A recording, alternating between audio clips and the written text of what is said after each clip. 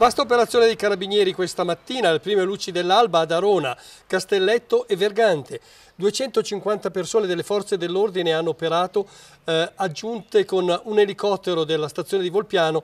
Capitano, com'è nata questa operazione? L'operazione è nata nel corso dei controlli che quotidianamente le nostre pattuglie fanno sul territorio, soprattutto in occasione dei fine settimana, quando la Movida eh, porta ad Arona numerosi ragazzi. In una di queste occasioni la pattuglia della stazione di Arona ha intercettato un ragazzo che aveva appena comprato 5 grammi, 5 palline di, di cocaina.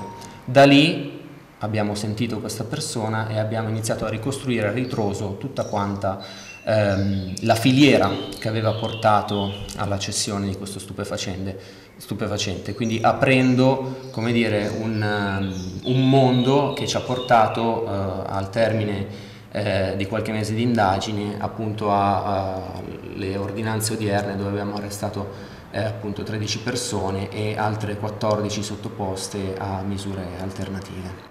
Ecco, quante persone avete sentito? Diciamo che nel corso dell'attività abbiamo sentito circa tra le 80 e le 90 persone, eh, tutti quanti consumatori.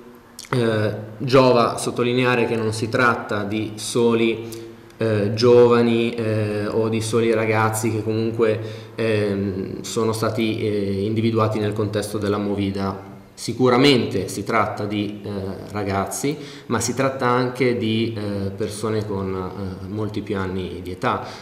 sostanzialmente è emerso un quadro in cui l'assuntore andava dal, dall'anziano che magari aveva, era uno stimato professionista fino ad arrivare appunto al ragazzino che arriva durante il fine settimana per divertirsi ad Arona.